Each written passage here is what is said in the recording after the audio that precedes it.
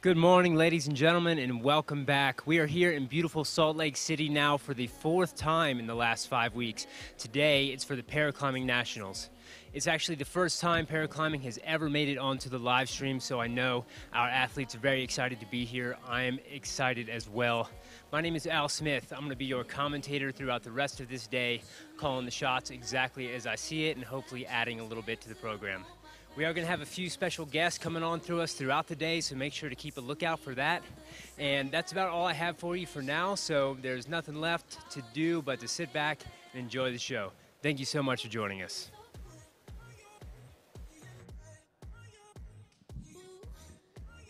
There's another shot. Beautiful Salt Lake City. Sounds like I'm coming to the house right now. In addition to the live stream, we're gonna clear that up. Yeah, okay, we've killed it in the house. Now it is just me and everyone at home on the internet. In beautiful Salt Lake City here, we're sitting in the booth right now, and I've actually got a special guest with me, someone uh, who's got a tremendous amount of experience, and, and, and, I don't even know the full extent of it. Um, her name is Kareemah Batts, and um, Kareemah, how you doing?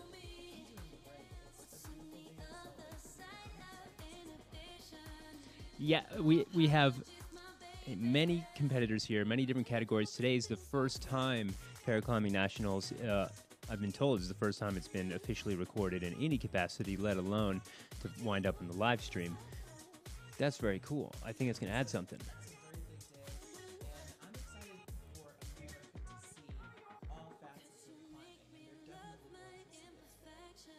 And we've got some very very competitive, very capable people here today. The action is going to be very cool in qualifiers yesterday. Um, climbers all across the board really fighting, obviously, for the win, trying to get that strong qualifying position, trying to get on the podium, get gold. Uh, so, as with any competition we see, uh, I think the, the, the level of fight so to speak, is up a notch. You really take it to the next level when you're at a, a nationals event.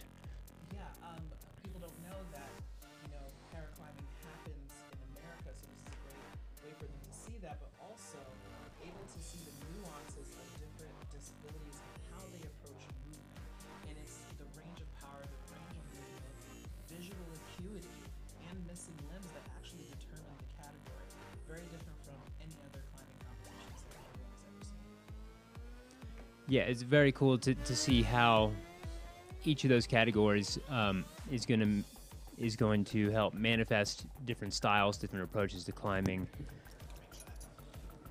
Um, I think I just discovered for our friends at home that Kareemah's mic has been off this entire time. So unfortunately, y'all missed a lot of good content. I'm to take the blame for that one, and I apologize. But um, things we discussed. I'm just gonna. It's just our first one though, so this is the first ever time we're streaming. There's down to, is bound to be snafus. The only snafus we won't see is these routes. I mean, they look pretty amazing.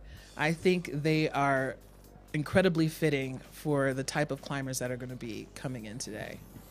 Yeah, and we do the the setting staff here is incredibly talented. Uh, you told me we have an IFSC setter. We've got um, maybe two at least two setters who have experience uh, setting at the World Cup. Definitely. So the athletes are of the highest caliber, and uh, it's just fitting that the setters would be of the highest caliber as well. Um, so hopefully these routes offer a little bit more excitement than uh, the run-of-the-mill routes that these competitors are used to climbing on. And it's a great facility because we're here at Momentum Climbing in, in, Salt Lake City, and they have really worked hard to create an accessible experience for the paraclimbers coming in to climb today. And we really, really appreciate it.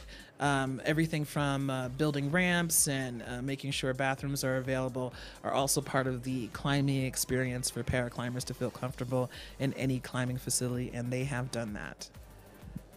Yeah, it's it's cool to see how how many ways uh, paraclimbing as sport, as an organization, as a subcategory of USA Climbing, and in these individual competitions are continuing to grow.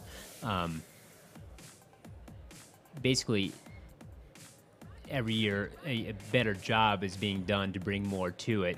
More athletes are joining in, participating. Um, the events are getting there's just more to them, and it's just cool. It's just it's cool to see any growing sport, uh, and especially in a piece of climbing like paraclimbing to see to see its growth and the excitement that comes around it is really cool. And before we get into our first climber, Kareemah, I'd like to, for our audience at home and, and frankly for myself, to learn a little bit more about you. You are quite involved in these things. You've uh, now you said to me yesterday you founded adaptive climbing. Is that correct? Uh, well, not adaptive climbing. No, there's okay, many people before it. me that founded. Sure. But I'm the founder of Adaptive Climbing Group, which is a 501c3 nonprofit that one of the um, assets of our, our program is that we fully sponsor athletes to compete nationally and internationally in climbing competitions. I myself, myself was the first female paraclimber to compete in a USA Climbing sanctioned comp, uh, competition under adaptive climbing. Uh, so this is a very roundabout uh, experience for me to be behind the mic with you today. Yeah, and you you said you're the first female paraclimber uh, under USA Climbing ever. Yeah. Okay, so that's cool. Yeah. 2013, very Ex- long time ago. Ex-competitor, organizational powerhouse, um, someone that's been on both sides of the coin, and now on this third side of the coin, so to speak, in the booth with me here. It's uh, it's very cool to uh, have your perspective and your experience, and I do appreciate you coming into the booth today. Well, I appreciate you having me because I have had such a great journey with a lot of the competitors that are going to be showing their work today, and I have seen them grown over the years, and I am super proud of what we're going to about to watch today.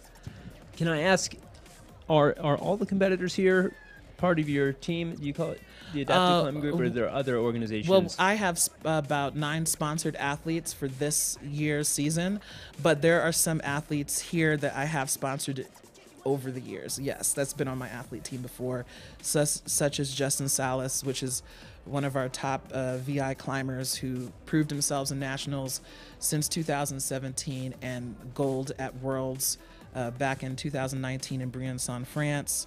Um, Eris Skinderi, who's making his appearance at his first competition here in the VI category. He climbs weekly in my program in New York City thir- on Thursdays. So yeah, I have a great relationship with them, even if they're not sponsored directly by me right. this year. you, you know everyone uh, just about, which is very cool. Um, you've got so much more insight into these athletes than I can provide. Um, and today we, we have many heavy hitters here. Many of these competitors have competed in worlds. Um, they're no stranger to competition. They've been climbing outside, climbing on plastic, climbing in national level comps, and in worlds even. Um, so they're serious. In short, the, the, many of the athletes here are serious and have been to the highest level already. But on the other side of things, we do have uh, many competitors that are here for the first time in nationals or um, aging in from the youth category into open. Uh, so it's it's neat that we've got both sides of it. You've got your seasoned competitors as well as people that are here for the first time, and, and that doesn't make them any less competitive. But experience-wise, uh, it's great to see that people just getting started. Definitely we also want to give i want to give a shout out to all the volunteers that are here that are working judge belaying uh, you know taking some time today um, to be here for our athletes so it looks like they're having the preview of their routes now uh, we have the AL2 category females there, the AL2 male categories that are um, also looking and previewing their routes that they're about to climb this morning. Yeah, I believe they get three minutes for each route, and I could be wrong about this. I, I think the format is slightly different, um, but they have three minutes for each route, and that's there they are doing their thing, um, the same way that they would in finals. Um, and this is the first time that our paraclimbing nationals actually had a finals. It's usually a red point format, but we have slowly been making the moves from aligning with the rest of the International Federation of Sport Climbing in how we format our competitions. So, yesterday was qualifiers where we uh, kept with a red point format, but today we are having a finals similar to how the rest of the world in paraclimbing conducts their competitions, which means they're going to be ready to take on the world in just a few months. So it seems like it's a step up again to, to have finals for the, you're on the live stream for the first time. We have finals, uh, and there there is certainly an, an amount of suspense and intensity and nervousness that comes with finals in an on-site format, and that's a really important part of competition at a national level. You want to feel that heat when you go into finals, um, and I'm sure they feel it out there right now. And it's I love that they're stepping up the organization is stepping up. The level of competition is stepping up. We've got a real finals here. Oh yeah, and what from what I saw in qualifiers, the route setters definitely had to step their game up in finals. So I'm excited to see what kind of snags that they threw out these climbers. Some of our uh, top climbers, um, some who have U.S. team experience, kind of breezed through the qualifiers. There were quite a few flashes in the in the uh, male arm category yesterday for qualifiers. So I'm, I'm especially excited to see that later on today to see how that works out.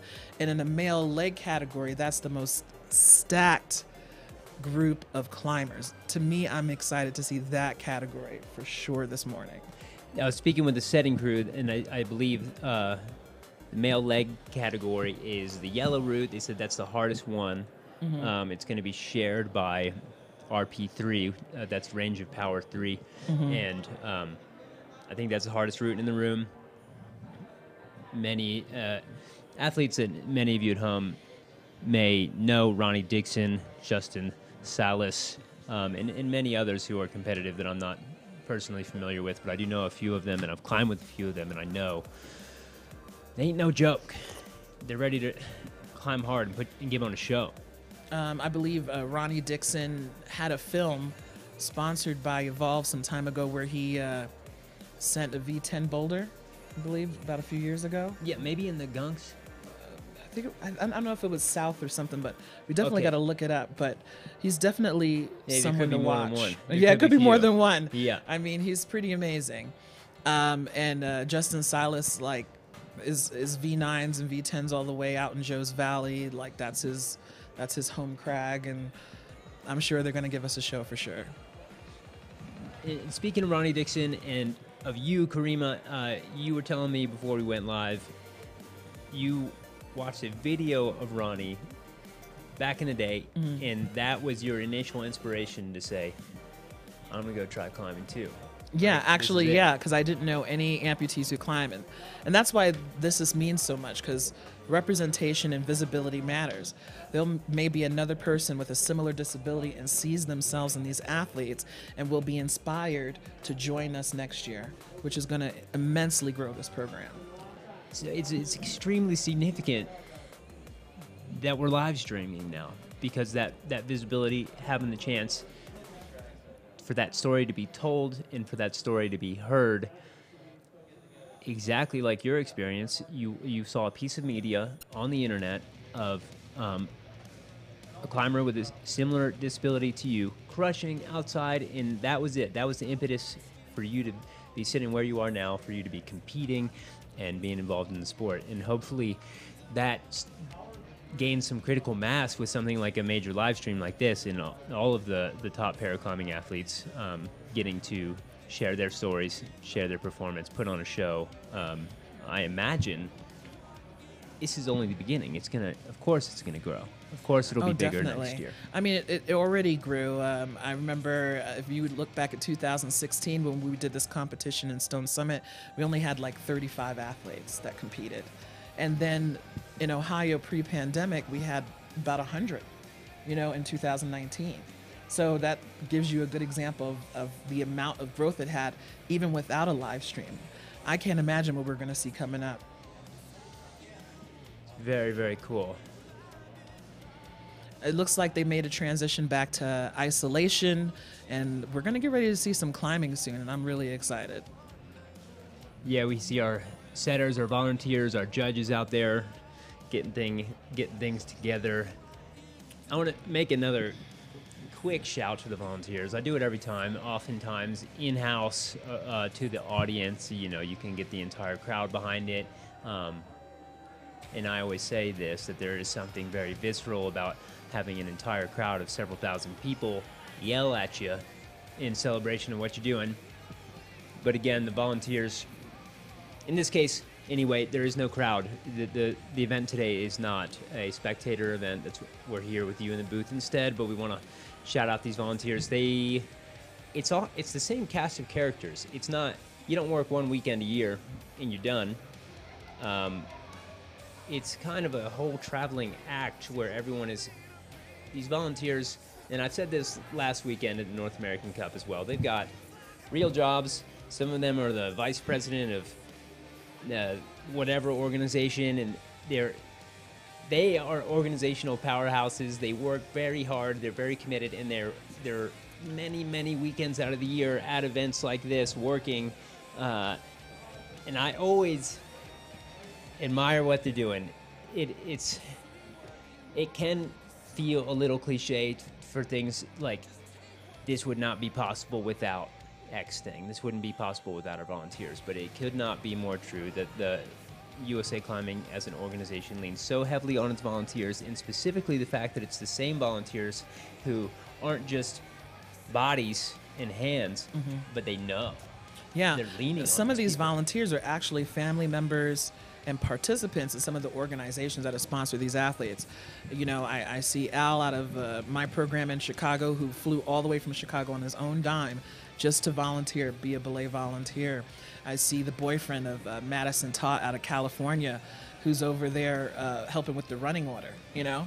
Uh, we now we're seeing some of our uh, seated climbers, which is uh, the RP. I'm sorry, the A, the AU category, the AL AL1 category. Sorry, um, and these are athletes who are usually uh, live life through uh, movement in a seated position.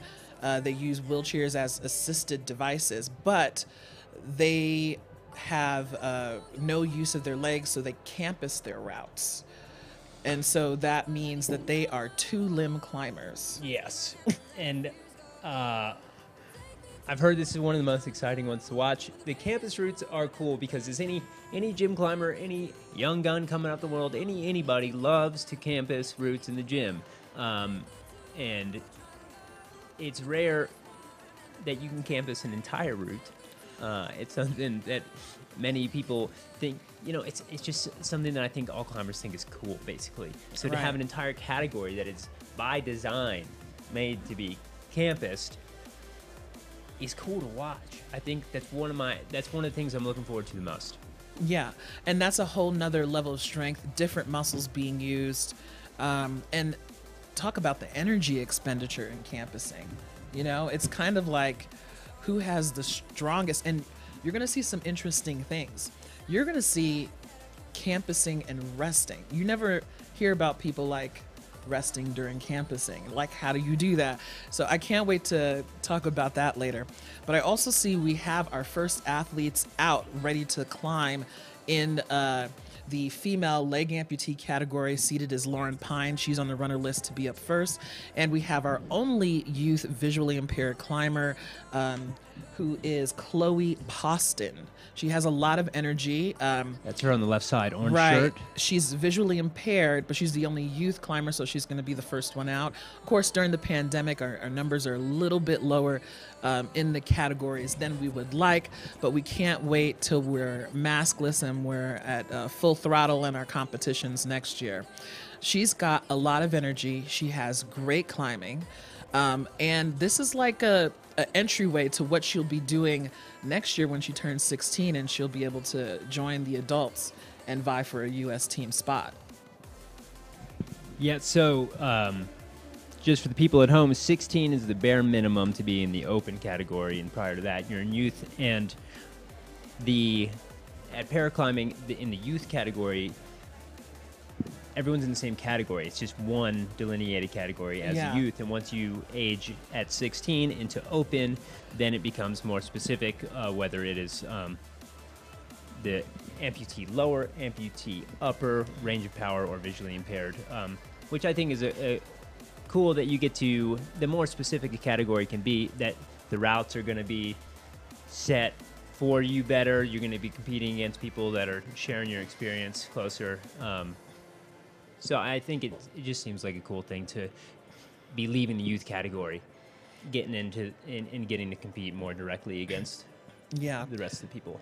Absolutely. I'm not sure what the range of for visual impairment is, but um, for for those at home who are not uh, very familiar with visual impairment and how it works, um, Chloe is an albino, and, and part of the uh, the abilities of Bilo, as, as you know, her hair is you know very blonde and her skin is very light. But those who are albino tend to have uh, visual impairments. So uh, that is actually why she has fallen into this category, and that's something that you're born with. Some of our competitors are born with their disabilities and some are not, which is why our youth categories tend to be very small. because because they're they're younger they're they haven't experienced an incident in their life that may Have give them a disability them- and put them in paraclimbing. made them able to join the club. I see, I see. And uh, just briefly for, again, for the people at home uh, who aren't familiar with the breakdown of the paraclimbing categories, you're going to see our abbreviations. We have AL 1 through 3, and then what do we call it? AU 1 through threes. Now, AL, it's a little it's a little backwards in the phrasing is amputee lower and then AU amputee upper. Correct. And then the numbers um, 3 would be the, Least the severe least severe of a, a of, given of impairment or um, restriction of mobility. So we've got the amputee lower, amputee upper, and then visually impaired, which is the abbreviation is actually represented by B, which can be a little bit confusing as well. Um, and then in B1, that is uh, essentially entirely blind. And interestingly, in that category, all of the competitors wear blindfolds to to absolutely level the playing field. Um, and then B2, B3, less visually impaired. And then lastly, we've got our RP, which stands for range of power.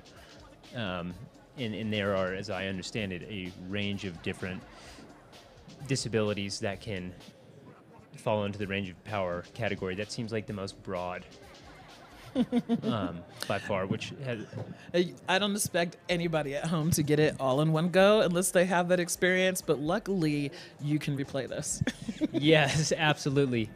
Um, and I want to add as well that I'm offering the breakdown of the categories just to help everyone at home be oriented. Um, but the way I see it, this is it's not a climbing comp for disabled people. It is a climbing comp for people who want to perform, who want to fight for the gold medal.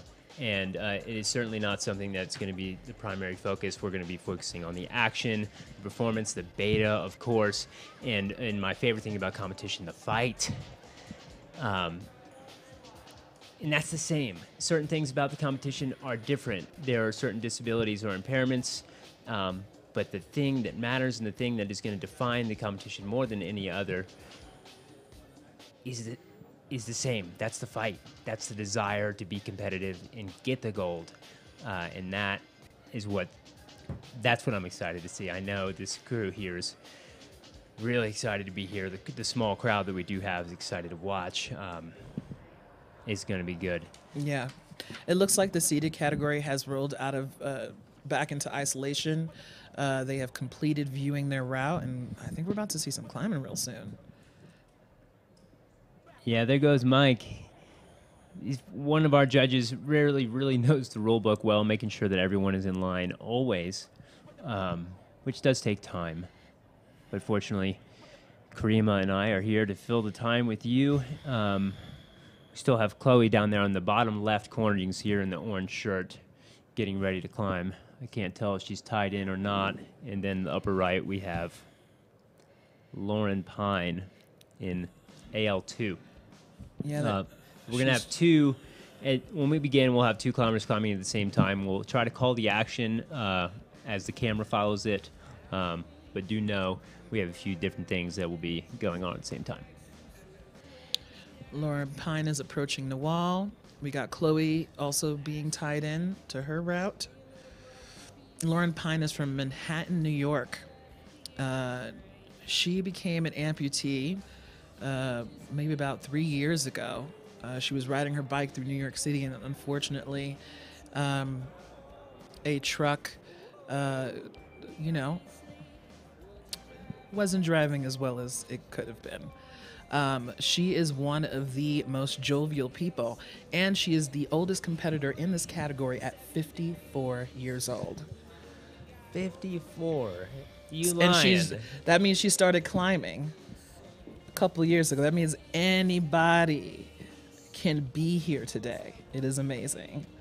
Yeah, if there is no better proof than that. If for those of you at home, if uh, if you're thinking about it, if you ever wondered, could I do it? Could I not do it? If you've ever doubted, stop it. There's a The rumor that doubt is uh, over. there's a rumor she's personal friends with Boy George too. We're gonna have to find out. Too cool I'm for school, y'all. Track Lauren down and ask about that. There's Lauren Pine finally getting ready to go. But she was um, actually born and raised right in La Jolla, California, so I think she's happy to be back west. Very cool. We, we are happy to have her. Maybe this uh, air will do something great for her climbing in finals. We, we hope so. There's Chloe now getting started. oh, she's moving, moving fast, making quick work of this route. She has great footwork.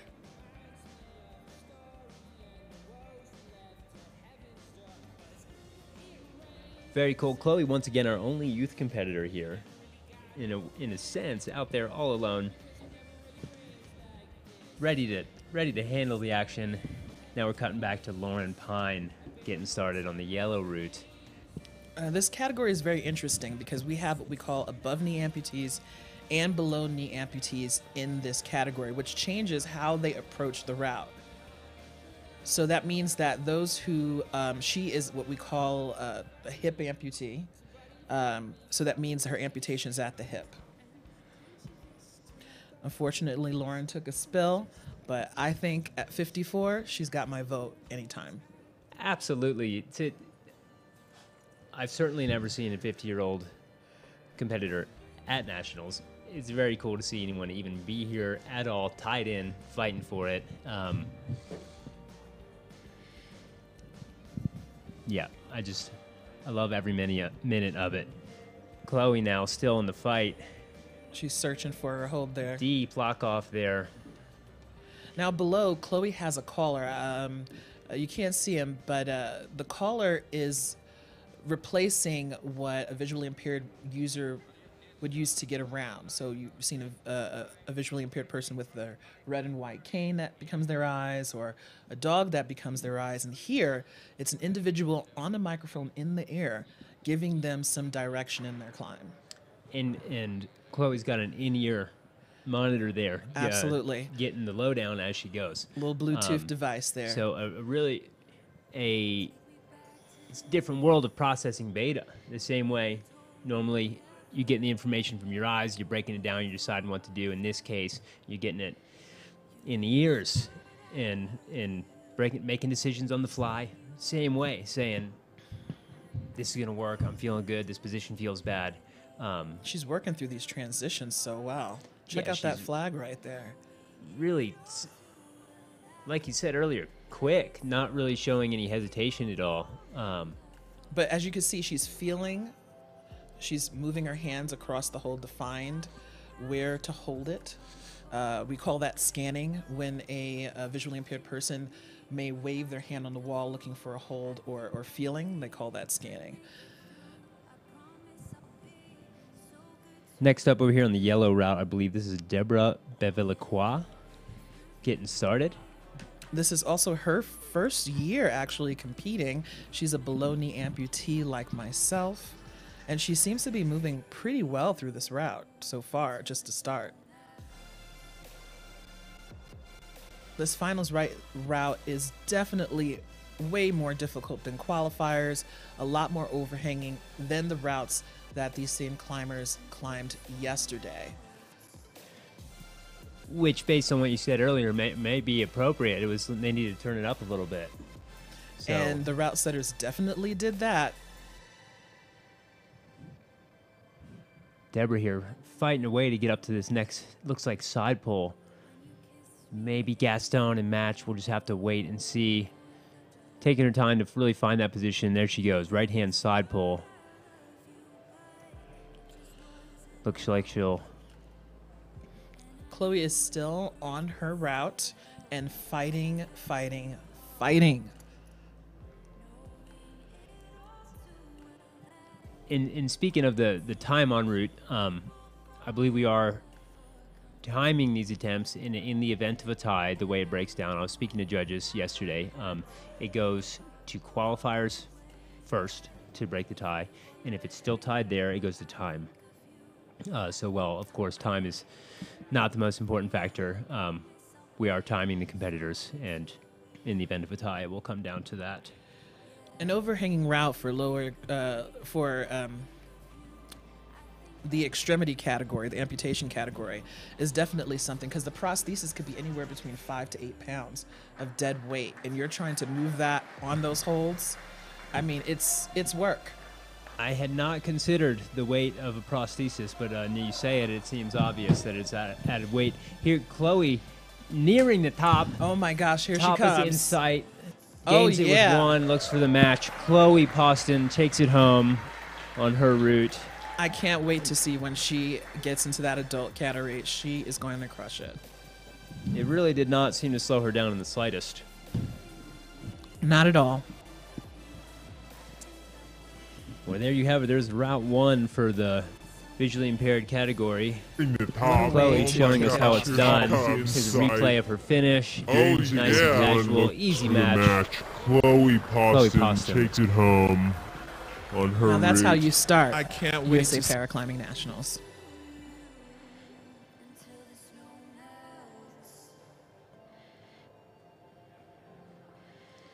Now, if I understand these breakdowns right in the categories and in the scoring, Chloe is the only youth competitor right now, Mm-hmm.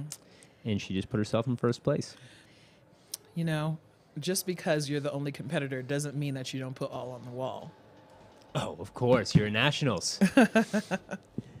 yeah, but it, it is uh, another note on, on aging into the open categories that you get to have that, that play with your other competitors and trying to fight for the podium.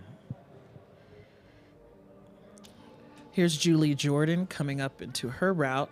She's another above knee amputee. Um, as you can see, she is actually wearing what we call a, a stubby, but it is a stubby that is uh, covered in uh, 510 rubber or climbing rubber, just like your shoe.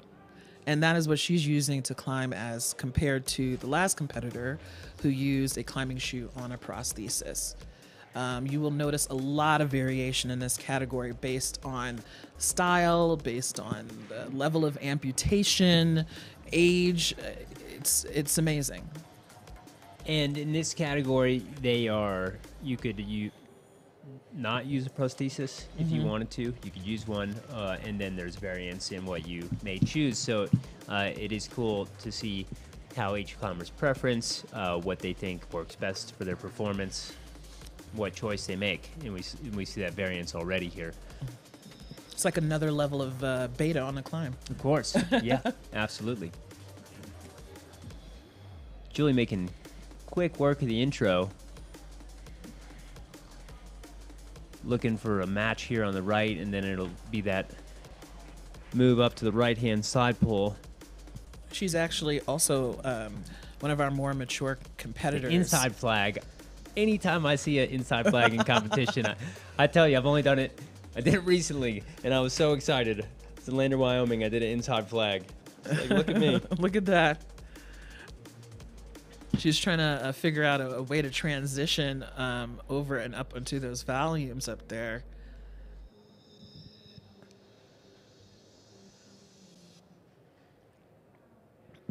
It seemed to be a level of difficulty for for all the competitors in this category so far. Actually, This point right here. Yeah, absolutely. right now on the wall, we got one of my sponsored athletes. All right. Uh, Paige Trotter, this is her first year of competition. She's out of Chicago, Illinois. Uh, she's in the B3 category, and, and just like Chloe, she's the only uh, female B3 competitor in this competition. And I think just like Chloe, she's going to give it her all too. Absolutely. I predict I predicted another top. I think I'm frankly optimistic. I see climbers come on the wall, I get excited. I say top, I predict top. Of course you never know, but this is nationals, they are very capable. And I am I'm always hoping for success. Um, her caller uh, is Patrick Sung, also out of Chicago. Um, and we're back over to our Julie girl Julie, Jordan. and she just took a fall, but Came she down was on there a long time. Really? she is strong. taking her time to try to sort things out. Yeah. Uh, it's common in competition. You got one attempt. You're figuring things out on the fly, and you're testing, testing, testing all of these different positions, trying to make it work, knowing it's the only attempt you got. So you will see people get hung up trying to make it work, make it work, find the way. What is the position? Sometimes, unfortunately, it's not enough that particular particular section of the yellow route, which I think the setters were telling me is the that's the hard one. So as you can Um, see, when when she's l- scanning that way, she's looking for direction, uh, looking for which way to go, trying to feel around to see which of these holds feel the best. Now, I have to tell you, VI climbers have an immense set of endurance because they are waiting for the next move. They're expending energy, transitioning constantly, and scanning, trying to find where next to go, which you will not see with able-bodied climbers.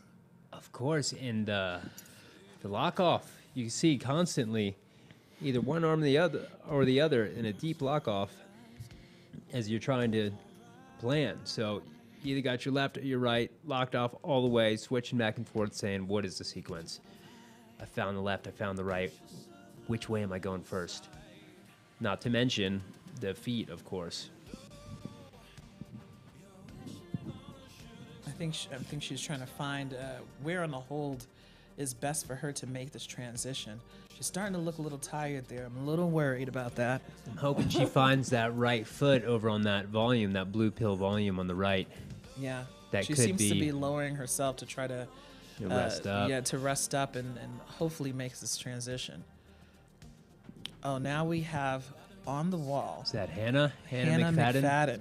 Now she's an athlete in other sports, so it does not surprise me. She is making quick work Oh, yeah, through already. these volumes that other competitors had to struggle with. Hannah with the high point, I believe. Yes, she does. She is currently in the lead right now. Looks like she'll come in left hand to that volume now. Finds the feet. She's also uh, another above knee amputee, and uh, she's uh, choosing not to climb with a prosthesis as part of her style of beta. I see that exact variance that we were just discussing already showing itself here, and uh, it seems like a great choice for Hannah. She's really making quick work. Looks like it's going to be a big pogo here, maybe. Oh, wow, this is a big move. Yep. She's gonna have to transition left, but she, Oh. she couldn't make it. But still, high point, and currently in the lead in her category. Not a bad, not a bad start to her day. Yeah, excellent performance by Hannah McFadden. And uh, Paige is back on the ground. Unfortunately, she did not get to complete her route. But um, I'm quite impressed with how long she stayed up there. yeah, absolutely. I'm, I imagine she's quite pumped. Now I wonder if it was the what what it was that stopped her. I wonder if it was those feet. Um, she's spending a lot of time working out the hands. Um, She kept feeling on those uh, same three holes, trying to figure out Yeah. what was best for her to pull on. the judge there is showing her zone to see what her scoring is on that particular route. And again, just a little insight for the viewers at home. Um, the judges that are there in the chairs, obviously watching the whole time, and when a climber comes down, um, they review the score, so the climber knows where they stand, what the points are, and uh, and in the event that they need they disagree or they need to make an appeal, um, they can do that. So that's what you'll see in any competition. The judges breaking down the score. And then speaking of scores, we do have um, a running score here that we've got on our phones, and we're going to throw it up on the live stream um, as we go throughout. Right now, Hannah McFadden holding the high point in first place, and then as it stands right now, we've got Deborah Bevilacqua in second and Julie Jordan sitting in third. Right now, we have coming up Megan Cusack, another one of uh, my sponsored athletes uh, from our Chicago team. This is also her first year ever competing in paraclimbing. She's also an above knee amputee, but she's actually choosing to wear uh, the Evolv climbing prosthesis.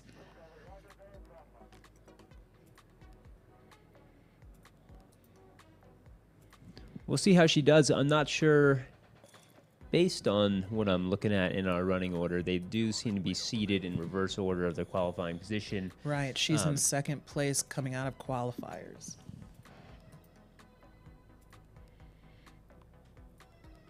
Ah, I see. For the ladies. Yep, that's correct. Looking for another high point, of course. Yeah, she sh- she made uh, some quick work and showed some fight in qualifiers, uh, not giving up, um, and got one of the high points on one of the tougher routes of qualifiers yesterday, which moved her into second place um, above Hannah at the very last minute. Yeah, things can change at any time. We saw that last week at the North American Cup. It was a heated contest. Uh, the podium being separated by attempts to zone. Uh, we thought it was going to finish in one place. It kept changing. The scores kept changing last minute. It's going to be the same here. Megan looking to upset the scoreboard like every person that comes out. Megan approaching what kind of seems like his first crux. Yeah, I, I know personally that overhanging is is not her, not something she was training on. So I'm wondering how she will handle this challenge. Yeah, we will see. Hopefully, well, here I believe this is Connor, Connor Geary. Yeah, Geary actually just transitioned into uh, uh, competing as an adult.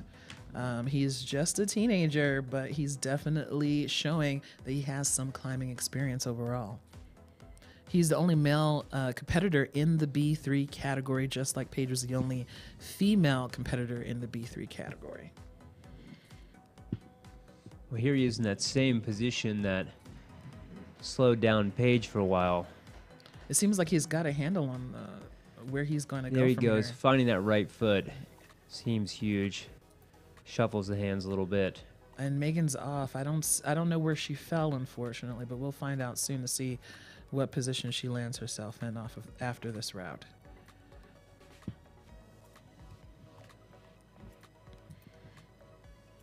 And Connor is transitioning through that difficulty that was for the other B3 competitor Paige.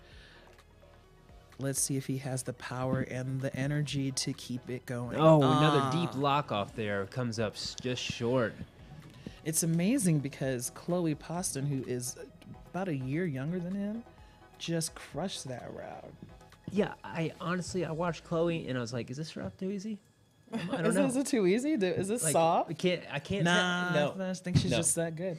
That's the way, and it's another thing we talked about a bunch last weekend is that you don't have any perspective on how hard the routes actually are unless you're the one touching the holds. So you see someone do it easily, you might think this route's too easy. You see someone fall early, not do really well, really struggle, you think this route's too hard. We don't know. We don't know. We're not the ones in the driver's seat here. We can trust the setters that their experience and know-how is being applied to the wall. They've done the best that anybody can do, and it's going to separate the competitors. And then as the competition goes on, we sure enough we see it. Some people do well. Some people make it look like it's nothing, and then some people struggle. We Here's ha- Emily Gray. Mhm, from South Africa, actually. Um, she lives in Colorado currently. Um, she moved to New York in 2017, joined my athlete team, and uh, she actually got to compete at Worlds in Innsbruck as the first South African paraclimber ever in 2018. She's also a three time Paralympian swimmer for her country as well. Um, she loves it here in America. She says she's here to stay. Uh, she's using her sports science degree to really tackle climbing over the last three years. Very cool to see um, high level competitors that are used to competing at national level or worlds in multiple sports, not just in climbing, which I think is, is, is fairly rare because you begin to specialize and then all your time, your energy, and your motivation is going just to one thing. But for some people, like Emily here, they've got enough time, motivation, or whatever it takes to compete at the highest level in many different sports. Um, and we're seeing it pay off here as Emily's looking quite strong. Must be that swimmer's endurance, huh? Yeah. of course, I need some of that. My shoulders need that. Here, Emily, a- approaching the previous high point, I believe Hannah's high point, two holds higher. If she can pass that, that should take her into first place. Looks like a hard move up and right. Oh. What a nail biter. That was amazing though. She made she moved through that very quickly. Yeah, it was it was great climbing. And those holds, they look like jugs. They look great. Who knows? They a lot of times holds that look big and positive are actually much more slopey um, than you think they are. Here's just Justin. yeah. Now he's one of our bone crushers, you could say, a gold medalist already at past nationals in 2017 in Boston was his first gold. He got gold at the World Championships in Briançon in 2019. Um, and he is the only B2 competitor here today at Paraclimbing Nationals. Justin looking very relaxed right now. Oh, Very- definitely. Casual lock off here. I believe this is more of a warm up for him then. It may be the case. Maybe we'll find a red point crux up high on the route, but right now it doesn't seem to be a problem. he actually works for Oso Gym as Paul Robinson, uh, past USA climbing competitor and champion. Uh, Oso Climbing Gyms, uh, he's a route setter there, I believe. Okay, cool. And it seems like, and I, I don't have the experience to say, but if you're a route setter at a commercial gym, you got a lot of experience with the different holes, the different techniques, the different, I don't want to say tricks, but techniques that setters will use to complicate things for climbers. It seems like some really cool perspective to have if you can get it. That would help you in competition. So, uh, just a B2 category, he has what we call uh, his particular visual impairment is called peripheral vision, meaning that um, he can only see out the the side of, of the eye, right? Okay. um, and he has to do a lot of zooming in uh, to read things and things Sure. like that. And um, so seeing the total shape of holds or where his feet are is actually uh, where his caller Matthew comes in to provide that guidance. And they've been working together for years, and you can tell us Justin. how easily he's just transitioning to the top Very and crushed this very graceful. Executed the beta flawlessly, no hesitation. Um, he's got more. Justin's certainly got more in the tank Oh yeah, than that, which is clear. Here we've got Yangzi Jiang. Getting started for the gentleman.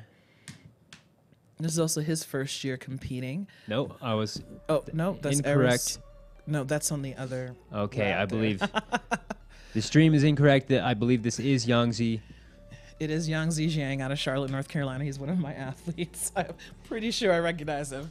Um, and this is his first year. Actually, he's only been climbing a year, Okay. like consistently. Only a been year, climbing a year. That is consistently. But he's one of those uh, marathon runners, so he's using a lot of that energy to to try to stay on this route and tackle this. Um, of course, you know, this is a stack category, the male leg category. Um, and so he's up against some of the very best with years of experience, but he's handling it as well. His headspace is good, and he's transitioning through these moves that actually, um, uh, you know, were a bit hard for some of our other competitors earlier. Yeah, of course. Hopefully, he finds that right hand on the right side of the volume. It may cause him trouble. There he goes, Oh wow! Look at working that. out the beta. He's got He's good footwork Find the there. match. Uh, he's a below knee amputee, and uh, he is wearing a specific climbing prosthesis that Evolv actually makes, which is what of a lot of the, the climbers who compete wear. It's a it's a cool thing for Evolv to be making it. It's some, something specially designed for that purpose. Here, Yangzi's at a bit of a Oh. crux. It looks like making a hard move, but That- coming up short. That was a lot of crux for a lot of our even best female. Yes. Yes, it's it's hard to tell there whether the footholds are small or the position is bad, um, or if maybe the hold they're just going to is not as good as you'd hope for. A lot of people are having to jump for it. Um, looks like a hard hard hold to control, but we still have plenty of competitors here. Quick replay of Yangzi going again, finding that left hand, but it just Bit of it What is it about that particular hard hold move that without is it. stumping so many climbers? I just don't know. And I, I can't wait to find out. Hopefully, we can get some of them into the booth and ask. Um, oh, we got Steve Henson tying in uh, from Colorado. Here's a replay also of Justin Salas just Too cruising to the top. He's got like a vacation shirt on, and this Oh. route was a vacation for him. Breezing. Bring this man a lemonade. Back to the action here. Steve Henson getting ready to climb. Another below knee amputee, uh, choosing to wear the Evolv climbing prosthesis as well. He's out of Colorado. He's a uh, marathoner by his first sport, and his second uh, and continuous sport is also climbing. It does seem like even if you came in climbing late in the game, if you have experience being a serious athlete in other categories, there's obviously many elements that are different, but there are many elements that are the same. The grit, the dedication to your training, the keeping a cool head under pressure, and, and those elements transfer very well. And then you've got to pick up a few different things, but you can see some of these climbers haven't been climbing since they were very young, but still perform. Here we go, different beta here. Hmm. Hopefully, it, Oh, there! Oh, he got it. he got it. Maybe that is the better beta, I as it turns out. It also feels like he he he touched it more on the right side of that hold. Everybody was more on the left side of that hold. Yeah, and I kind of like that cross. It really seemed to to work well with how those His footwork is, positioned. is very good too. I Now- mean, his transitions he's making very this might quickly. be the move. Big move here. Oh yeah, high point. Hear the small crowd outside, really helping him out. Steve Henson putting on a great show here. Quick note on the the ropes situation that you're seeing here. Um, they are it's it's a basically a modified top rope. Um, and if you're on a steep wall and you're doing what we call often free snaking, uh, top roping on a steep wall, if you fall early, you can swing out and hit the ground. So they have this initial top rope, which is now below him, that they use to protect him in the first half of the route, and then he climbs above it, and then the orange rope, as you can see, um, take catches the fall. So he, it's not as if he's going to take a giant lead fall right now. He's one top rope for the first half, the second top rope takes over. But eh, more importantly, honestly, the action here. oh, Oh, oh, Steve gee loses whiz. the foot. It looked like amazing, amazing climbing. Love to see a replay of that if we had the time. I'm, I just want to see exactly what what happened there. You know, like it was so he was I moving think- so quick through that route. I think the foot went, and that was it. And uh, it looked like the fatigue was starting to build a little bit, but I think that's what did him in. Here we got Eris Skandari. Eris is out of uh, New York City. All the way out. You know, he drove cross country to come here. He drove. Yeah, him and his team. Well, him not specifically, but his his his caller drove. Ah, of course. this course. is the B1 category. This is the completely blind category. Long, a lot of time in the car. Either way, here, Steve. Oh, Oh, wow. Loses on that right volume. Looks a little slippery, a little bit. Not as good as you would like. It Uh, can be a little disappointing. You you may you feel like you've got more in the tank. You're taking your time trying to work things out, and the foot goes, and it's over. The fight is over, and that is unfortunately part of the difficulty of climbing, but sometimes a a, a disappointing way to to He's fall. approaching uh, the crux. He's doing a lot of scanning here. Um, and I wonder if it has anything to do with his energy levels. Uh, his caller's name is Saeed Ali. They've been climbing together for the last two years consistently in New York City. Eris here, our first competitor in the B1 category, um, completely blindfolded. So that changes things a little bit. You're really relying on your caller a lot, really having to be efficient with your scanning, um, and have a phenomenal endurance to be able to, to endure the time it takes while you figure out that beta. Colin Torpy easily found uh, the right place to hold on to that crux. He is out of Atlanta, likes to train out of Stone Summit Gym, one of the most experienced of uh, the climbers in this category. He's been to world championships multiple times and is showing himself on this route. Seems like anyone that competes at a Stone Summit knows the game pretty well. they put they know how to put out some athletes. Oh, yeah, definitely. here, Colin, really proving that is true. Nearing Steve's previous high point, you can see in the top left corner. Oh, Eris came down uh, above the crux area that most of the, the visually impaired climbers had an issue with. Yeah, it's certainly a great burn. I wonder if it time. would put him on the podium. We'll have to check the scores. The scores here, scoring can be Oh, he's a little. he's passing Steve's point here. All right, Colin. Sure enough, and then you can see that volume, that right foot that he may use or not use. Yes, winds up not being an issue. Fights his way through. Oh, Oh, the pump. It looks like the fatigue builds there. In in some of the when people fall earlier in the route, it looks like they might come up short or not find the position. But right around up there, that pump is really starting to, to set in, and you've got that you can see if we get the replay two small holds that are guarding that that final section of the route. I don't know if people at home can see how the wall is gradually getting steeper and steeper, putting more weight on the arms, and then the they're uh, especially if they're wearing a prosthesis. That that five pounds is a little Yeah. bit heavier than it used to be. Well, an excellent, excellent fight for Jake there. Oh, excuse me, that was Colin. Jake Sanchez now.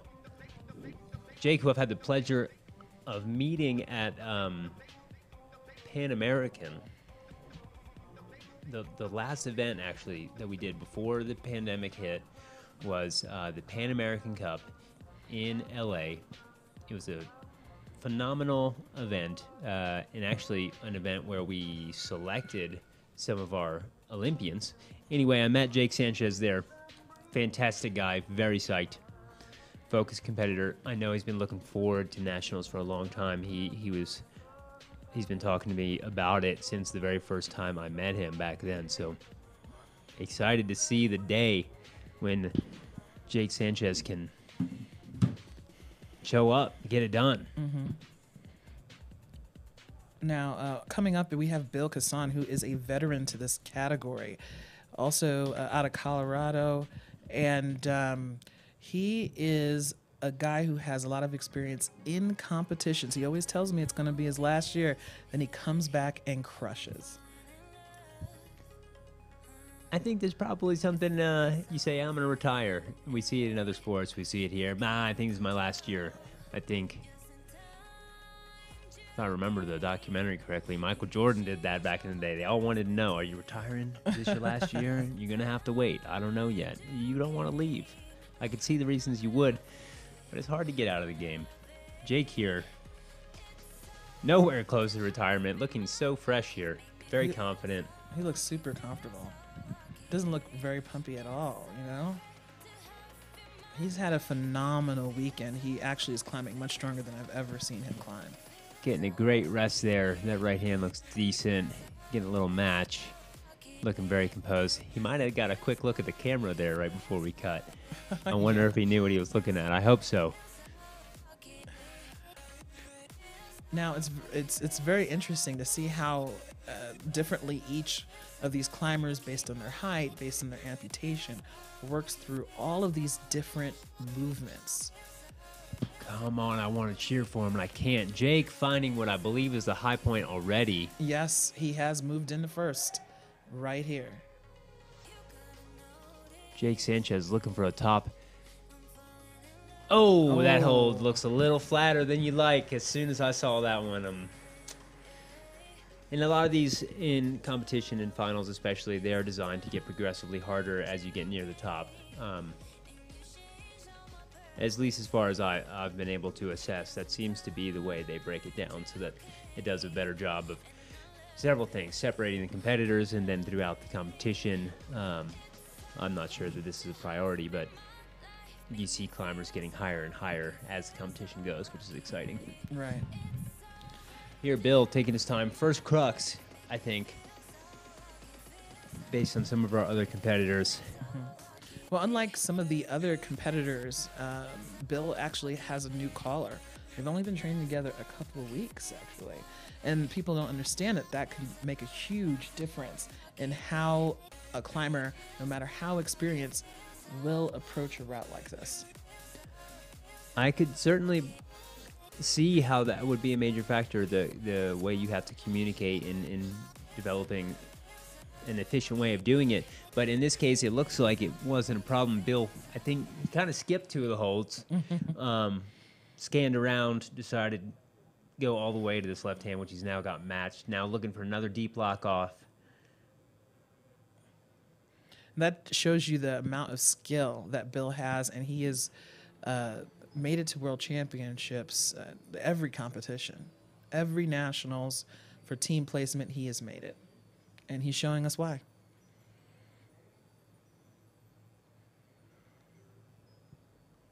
No, I imagine right now is the steadiness of his breathing. How calm you'd have to be to not get pumped and and basically be comfortable with the fact that you're taking a long time to scan and not find the holds to maintain your composure. That was interesting. steady. Yeah, it was an interesting choice for him to use his knee. Sure, yeah, but it seems to be working out all right. Oh, oh. But I believe that was high point uh, for Bill. We have to check the scores to see.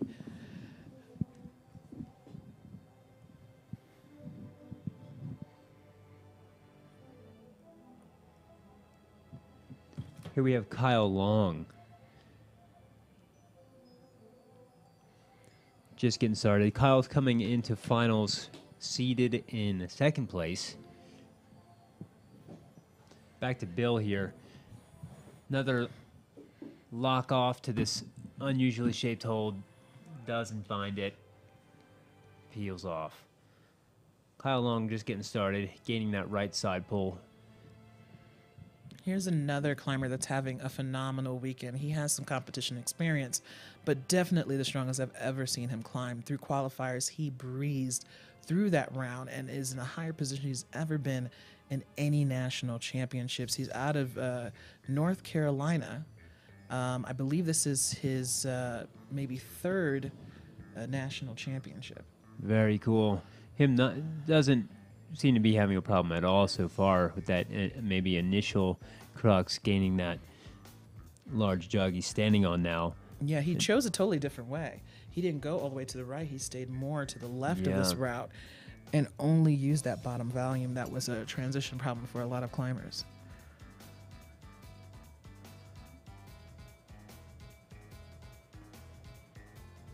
Gaining a quick rest here before what looks like a little bit more bouldery section as he makes the way up.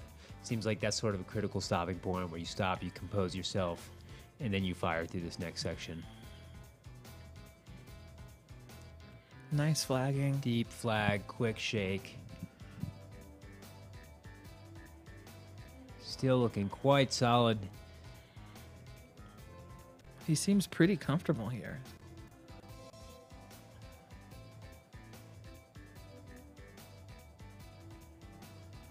I've definitely seen more flagging from him than any of the other competitors in his category. Mhm. He's definitely making use of, of his balance, of his rests. Oh, it's slowing down a little bit here. Hard move. Go. Oh. Kyle coming up short as things turn up.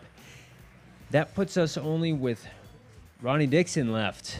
Yeah. We're very excited. We want to see you top, Ronnie. If you can hear me out there somewhere, which you can't, but if you could, I'd be asking you, show us the top. We'll have to see. Justin Proctor here. Just getting started, our last competitor of this section. The morning session, well, not quite drawing to a close. After this, we're going to switch categories. We've got two more to come. But for the categories we're sitting in right now, Justin here climbing now and Ronnie to come shortly will close out those categories. We'll see what they can do. Uh, Justin here is a East Coast climber out of Massachusetts. He claims he climbs out of Central Rock Gym.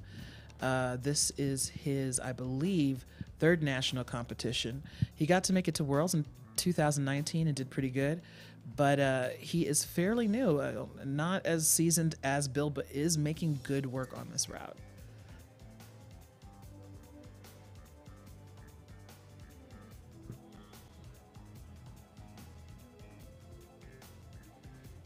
Yeah, Justin looking pretty strong here, scanning quickly, finding his way through, not really getting held up for very long, which the the time that you may get held up in any given section seems if you get stuck in one spot for a while, the fatigue that can build up there can be enormous. So quickly making his way through, which is great to see. It, it truly shows the importance of the relationship between the caller and the climber to, to know how to communicate with each other to be able to see when your climber you know needs another move or is in a position that uh, you know may cause fatigue and and you know help that climber out there Yeah, of course. Here's Ronnie getting started. Ronnie Dixon is a legend in paraclimbing. He was the first uh, uh, U.S. climber uh, with Craig DeMartino, one of the first to actually compete in the in the world circuit. Originally from Florida, where there is absolutely no climbing. I tell you what, I don't know how, but Florida puts out some strong climbers. I know I tell you, you got Meagan Martin, you got Ronnie Dixon, I believe one of our setters, Mark, is from Florida Mark originally. Mercer, one of our setters here. Yeah, Yeah. You spend all that time in the gym, you get good. What else are you gonna do? Justin is keeping himself small on routes. Uh, he's one of the taller competitors, um, but I feel like he's making good use of that, being able to scan so much farther. I wonder if that is, you know, part of the reason why he's getting past where uh, Bill fell. Yeah, I, I don't know, but I do know that I'm excited to see him way up on this route. I hope that he makes it through this. It looks like He's hit match. high point, I believe, for the, for uh, this category. Scores are not yet in. You know, I Can't think to see those two, those two round holds must be worse than they look, like they so often are. yeah, Ronnie here, still casual. Looking super comfortable. I'm certainly still hoping for the top. Ronnie nearing the high point here. If he hasn't already found it, if he controls this big letterbox, Oh, there we go. That's He's what we it. want to see. He doesn't look pumped at all. He's chilling. There's 18 seconds. Uh, he's already reached high point. He's maintaining his first place from qualifiers with ease. Looks like Justin did not find his way to the top, but we cannot be sure. Ronnie Dixon, however, managing his sequence through some small pockets. Looks like a giant sloping rail here. Works the feet, probably finds the match, and continues to the head wall.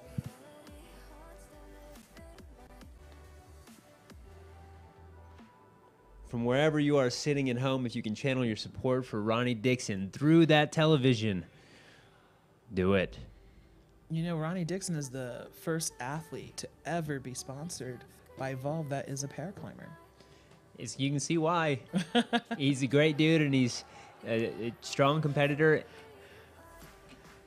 Great Quick work, climber. It's- So good. yeah, Ronnie fighting for it now. We like to see a little bit of that action, moving a little quicker. Ronnie now with the top in sight. Looks like three holds and then the top. Ronnie getting a quick rest here. When Ronnie's not making quick work of routes, he actually is a prosthetist. He makes prosthetic legs for a living and helps people get as active as him. But apparently, he's keeping that skill of climbing and killing it to himself. yeah, yeah, that's for him to keep. I'm sure there are many people watching at home right now and being like, Looks like he's getting a little me. pumped. He's finding his rest here.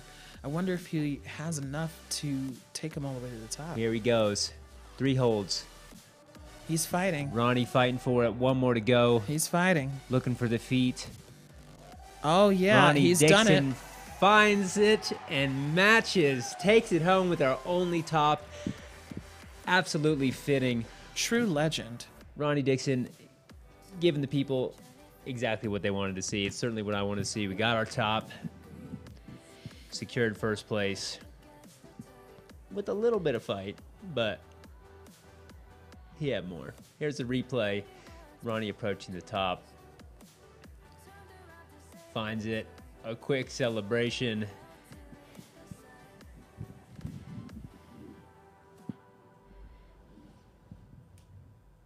And there we have it. You know, I do wonder if we could get him in here for a brief interview.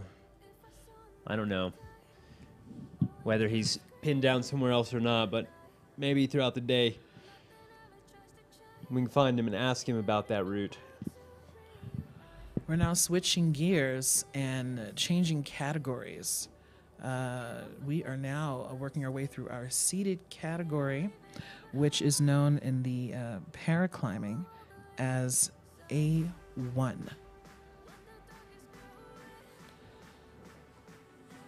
Female A1 category is going up first, and then male A1 category.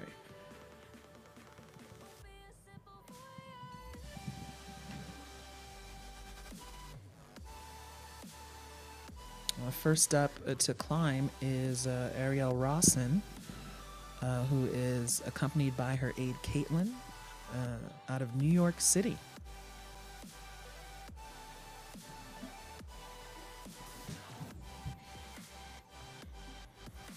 While we're waiting for them to get ready, I would let I would love to see a little bit more of uh, Ronnie's final burn here, That'd be so good. unless Ariel is about to begin. But just the way we saw many very capable athletes struggling their way much lower on the route, and and Ronnie is really showing that he's kind of in a league of strength, almost of his own. It was a very dominant performance there. Um, And over- making it to the high point, not struggling, resting on the what was the previous high point, getting it all back, and then proceeding to the head wall with relative ease. Um, I think in any sport, that's what you love to see. You love to see someone come out and just tear down and Look at that. to wow. really show that like The only top of that category. Just crushed next it. level competing is always exciting to watch. And here Ronnie Dixon is giving it to us. especially the the concentration, the transition of that footwork onto his prosthesis is really not easy to do, and he did it and he crushed it.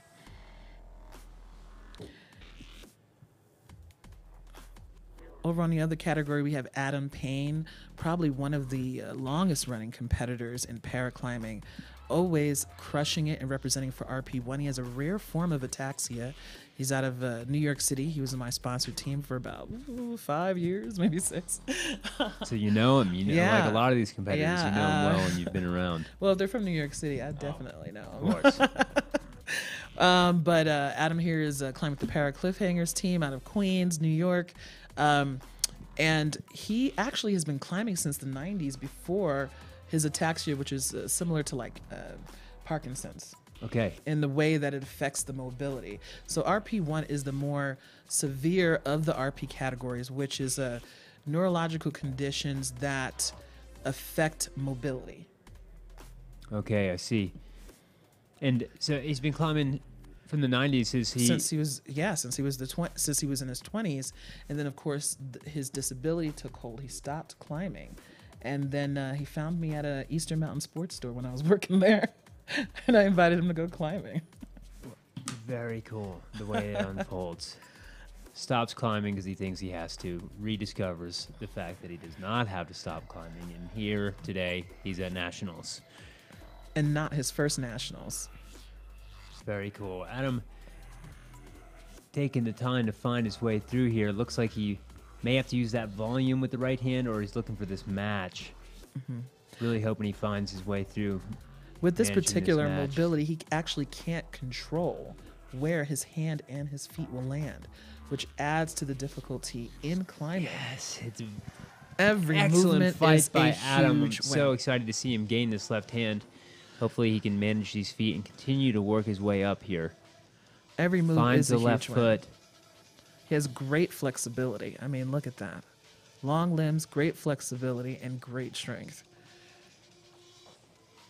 Yes. He's about 48 years old now. Adam Payne, 48, kind of crushing right now. Very exciting to watch him stay in this fight. Managing to nail down all of these feet and hands. Looking very good here. Very fluid.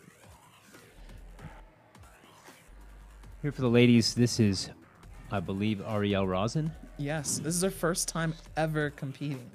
Period.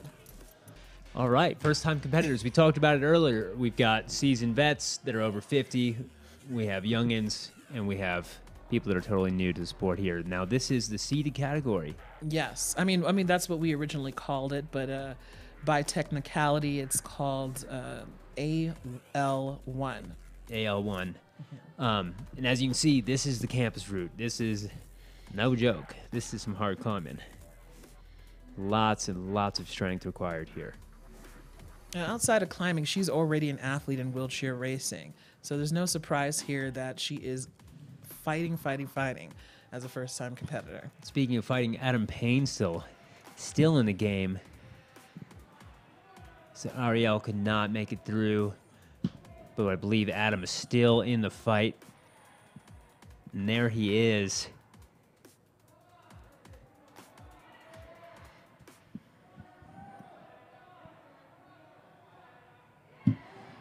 Adam still working his way up. Gains the right hand, works the feet again. Looks like he's got to either go up left hand, maybe match, and then gain a couple pair of opposing side pulls. Adam loses the feet, stays on, and recovers. He has amazing grip strength. Amazing grip strength. So even though that it, it, it may be a, difficulty in, in uh, controlling where his feet lands, his his grip strength is his saving grace on all his routes and that amazing flexibility. Yeah, it, it, it seems like even if it takes time to get things to land in the right place, once they do, they're not coming They're off. on, they're They're super on. Exactly. The hands, the feet, and it's. I mean, this is Oh, he's off. excellent performance by Adam what a Payne. great performance. Our the crowd crowd goes wild. He has a lot of fans here in Salt Lake City Very- and all over the world. I can't wait till this. Uh, maybe next year, Paraclimbing Nationals is going to be a spectated event, uh, and we're going to bro- blow the roof off this place. Who knows? I may be working the in-house crowd that next year, so I won't be able to be with you here on the internet. But who knows how it'll shake down? It is going to be a good time, and it's a good time right now. Replay of Adam Payne coming up short, doesn't find that left hand. He makes every route exciting. Exciting. Probably my favorite one. I would say that that was my favorite attempt so far. And next up on the uh, AL1 category for females is Manasi Deshpande out of Chicago, Illinois. Of course, I am slightly not objective because she's on my team. hey, that's okay. that's okay. No one can be perfectly objective. But also, uh, she has been climbing a really long time too. This is her fourth national championship, and she has made worlds a couple of times. Well, she's showing us why, making quick work. It must be the Adidas. cool kicks. I always notice the kicks on the campus climbers, like their choice of kicks, like is it lightweight, is it Yeah. heavy, you know, because that adds weight to the transition. So, um, and and with different disabilities in the seated category. So, for instance, you could have someone with spina bifida, you can have someone who's paraplegic who's in the seated category, but the most important thing is that they cannot use their legs to climb. I see, and it's it's a cool. It's a different technique here. Um, it's not like I don't know. This is not the technical term rage campusing.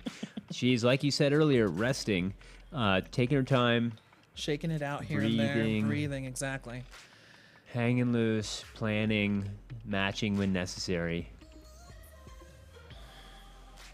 making her way up. I did speak with the setters briefly about this route. Um, like many of them, sort of a resistance route.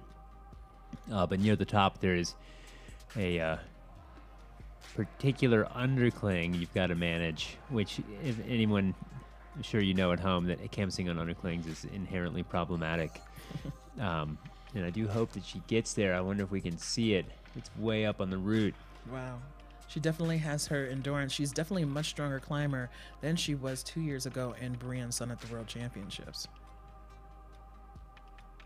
This is very cool. I would, I would, it would be fun to try that. And I, I don't think I would do it. I'll tell you that right now. Here's Jack Greener.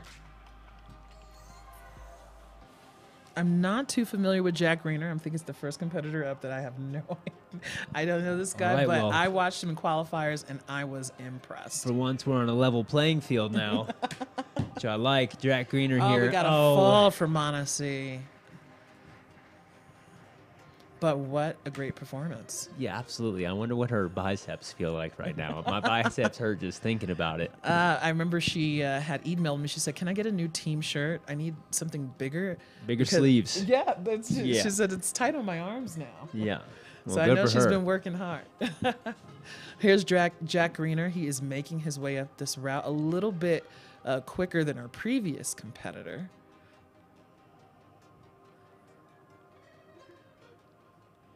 Here, Jack, I believe, matching Adam's high point right now. Yeah. Finding the match in the left hand, looking for the side pulls. Ooh, and fights for it, saves it. Now looking for that match on that left hand side pull Uh oh. finds it. Oh. Oh, ah. Unfortunately, So close. loses the feet. But I, I wonder if that counts. Uh, uh, was that high point for this category? I have to think so. Yeah. I think. Now, I'm not sure on this. If you've got two side pulls that are the same height as one another, one of them is designed to be gone to first, and the other one would be the, the subsequent move. In that, the way the scoring works, a lot of you at home know this. Every hold is its own point value, and that's how they grade it. Um, you get points for controlling a hold, and there is a partial point. Now, we have had some transitions this year. We're moving to IFSC rules, adopting what they do. Uh, many small differences that do make a big difference ultimately, but the points for for routes right now are every hold is worth a point. You get a point for controlling it, and then there is a partial point or a plus for generating upward movement off that hold. So that's that's how we're breaking down the scores. That's what the judges are looking for. Uh, here coming up to uh, our final competitor in the female AL1 category is Carly Cook, another seasoned competitor. Um, she started climbing in Chicago uh, with Adaptive Climbing Group uh, while she was a student in college and then uh, moved East Coast uh, into Massachusetts and Connecticut climbing there. Um, she is definitely the one to beat. Um, her disability specifically is spina bifida Oh, she's quick. and she makes quick work. I mean, look at those guns.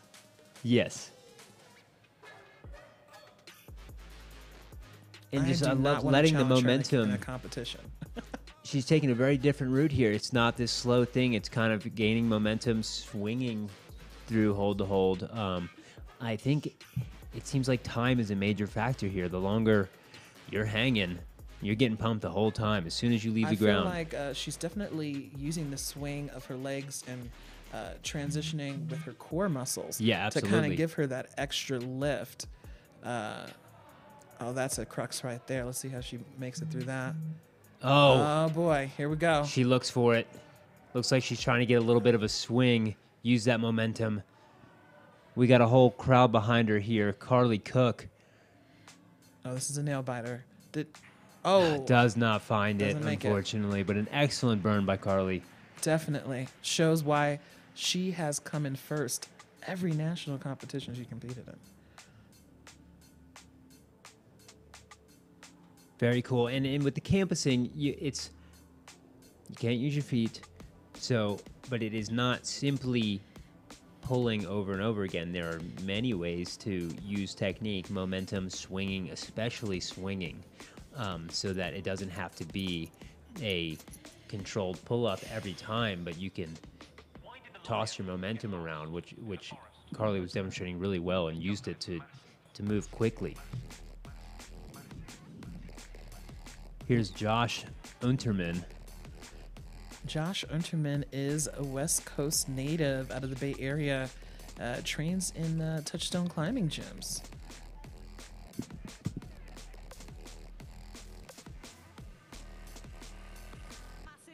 Josh taking his time here, checking things out. You get the route preview, but it always helps take a few seconds, even if it's just to get oriented on the first few holds of the route. Compose yourself for a second. It's common to see climbers not rush out and get started right away, but to take that moment to check things out. Josh moving pretty methodical so far. A lot of control there. Um, in his current disability, you'll notice he's wearing what looked like ice climbing shoes or boots that have that same 510 rubber along with his brace in order to transition uh, with his disability. He had his um, his footwear specifically made so just so that he can climb. Very cool, and it seems to be working quite well here.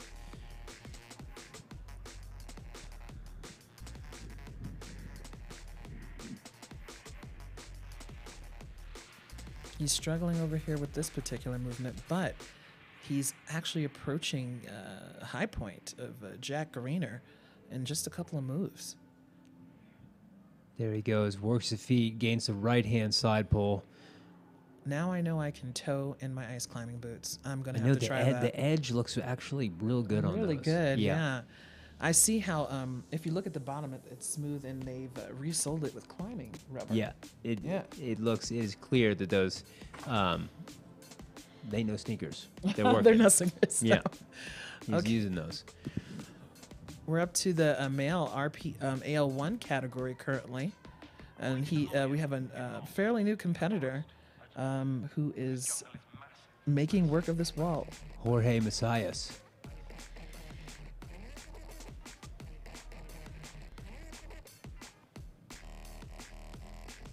Jorge fighting already, maybe taking a quick rest before the next move. Looks for the left hand and finds it.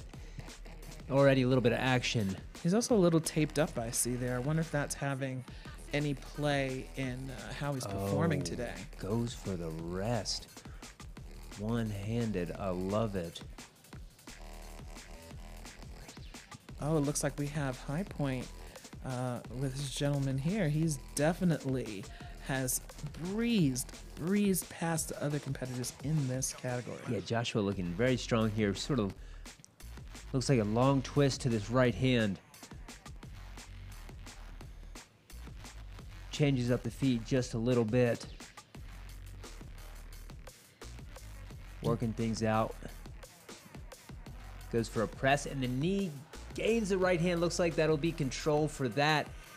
Works the feet one more time as he tries to go up again.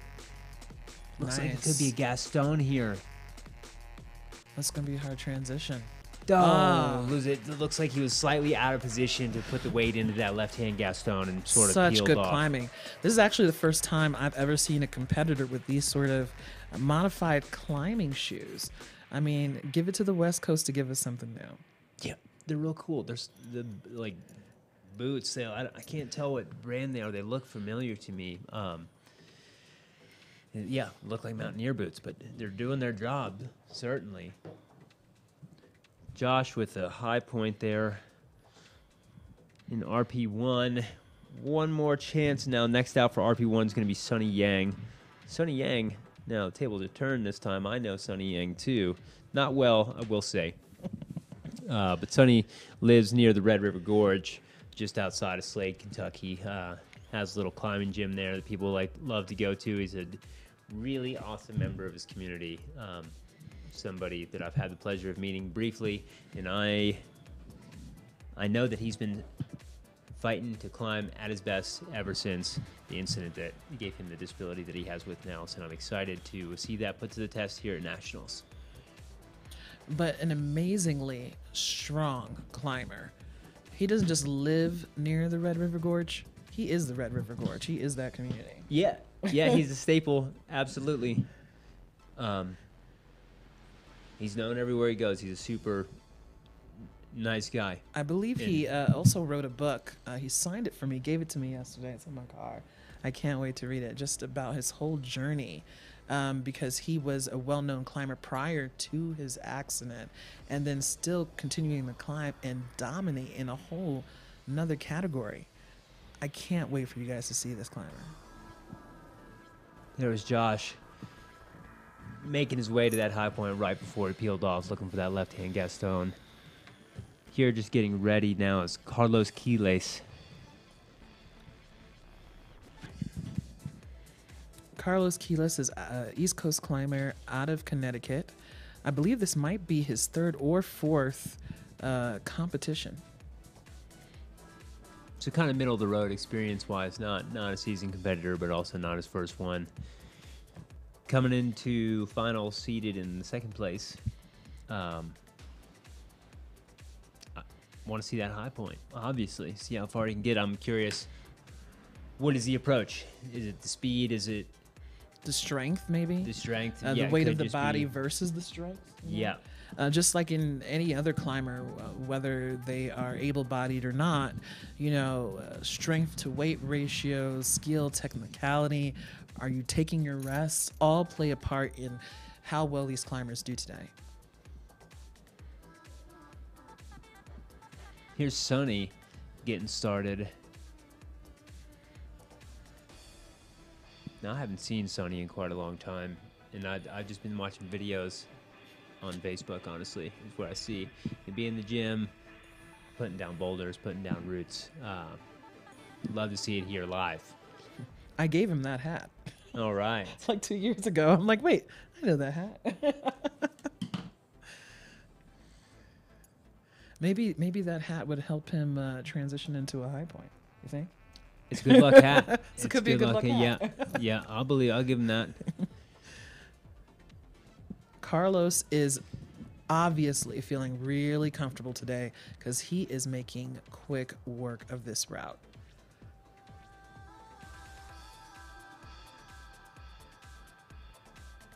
quick matches as he reads the sequence, making his way up. Now I can see how it's like matching your feet on every stair you take. It Correct. it's gonna slow you down a little bit, um, but instead, in this case, if you're gonna not match it at all, it's gonna wear you out because you're pulling through all the way. Um, Absolutely. and then also you get more power in pulling a full body weight if both your hands are matched on the holes. Yep. You're not dispersing your your energy and strength. Yes, you're making a little compromise between speed versus uh, conserving energy, and they're doing that constantly, deciding how He's they want to got a lot it. of fans in the gym. I can hear them screaming his name. Carlos taking a moment before he goes, finds the right hand. He's going to look for the match. Carlos still in the fight. I'm curious This if he's going to shuffle move. to the right or not. He's he's he's gonna. It looks like he's gonna take it. All right. and he calls it. Yeah, that would have been a big move, you know, uh, for him to Yep. transition onto. Yes, He- uh, once the fatigue starts to set in, especially um, maybe a move that wouldn't have been a big deal on the ground becomes a big deal when you're halfway up the route. Here's Sonny Yang looking So steady. He's going a totally different way than our previous competitor, actually choosing to uh, really take a hold of uh, those half circles. And Sonny coming into the finals, seated in first place, and it looks like he's going to look to keep that position. He's very close to reclaiming the high point here once he gets above these large volumes. Climbers Home uh, is um, an organization that uh, he works with, actually. That's his shirt right there. yeah, Climbers that's his Home. shirt. Yeah, that he's wearing today. Here he goes. He's This uh, is the sequence that will determine whether he gets the first or, I guess, I suppose, the second. Gains the right hand. Works the feet. Now he's looking for this left hand Gaston, unless he decides to. It's going to be left hand Gaston. He's looking for this is a hard transition. missing the right foot that you would want to push into that. For He's this category, this is very difficult. A very figuring difficult out move, what is yeah. the play, Sonny. Considering maybe switching feet and going right hand, but Uh, For RP1, balance is one of the the major there he goes. transitional points. Finds it, Yeah. and that is going to be So enough. if I, and that'll be enough right there. Sonny Yang takes it, but still in the fight. Sonny, of course, looking for the top like every single competitor.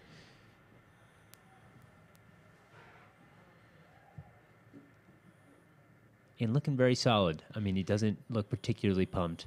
He's being methodical, taking his time, working things out. There's still a lot more route left. I thought the very same thing.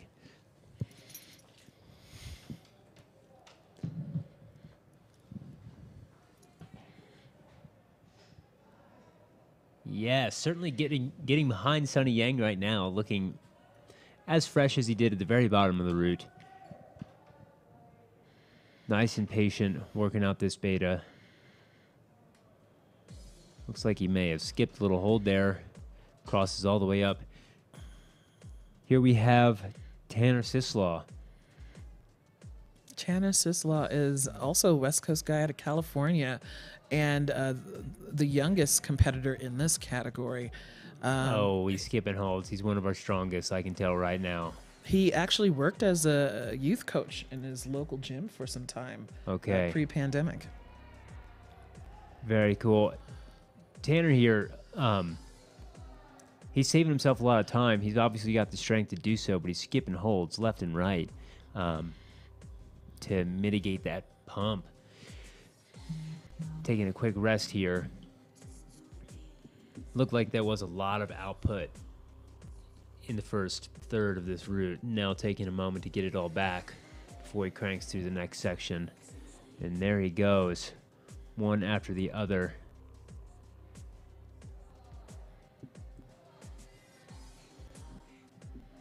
Wow, I, I think he might top this route. He may top it. We will see. He has such great strength, and you can see him breathing in between some of these major crux moves. Managing the rest this way seems. I don't know what it seems. It seems very difficult to deal with. They're different muscles that you're using when you're when you're in that position. So Yeah. you're thinking forearm, and forearms are actually not being used at all when in rest.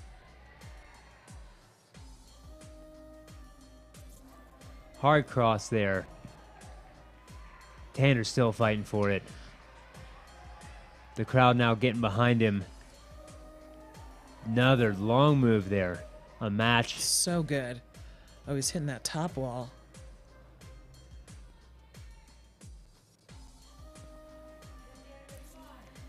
He won gold at the last World Championships in Briançon, France in 2019. And So he's showing us why. World Cup gold medalist here. Taking the quick rest, looking for the top, getting close. Starting to melt a little bit, but saves it. Tanner Sislaw still in the fight. Oh, oh and wow. Loses it. Excellent Such- performance. So good. So strong. He's got many wins left in him for sure. He's got the guns. Look at the pythons in that guy. That was That's what you want right there. Definitely. That's what you want. And I believe that closes out session one. We've had AL2, AL1, RP1, and then B1, 2, and 3 done. We're taking a short break now. I don't know the time, five minutes, maybe 15 minutes. We haven't been perfectly briefed on that, but we're going to get our next round of climbers together and resume the action. Here we've got Chloe again. First top of the day. Bunch of replays. Y'all sit tight for just a few moments. I think we're going to run replays of all the action from the morning, and we're going to be back in the action with AU2, RP2, and RP3. In just a few moments. Thank you for joining us. Cool.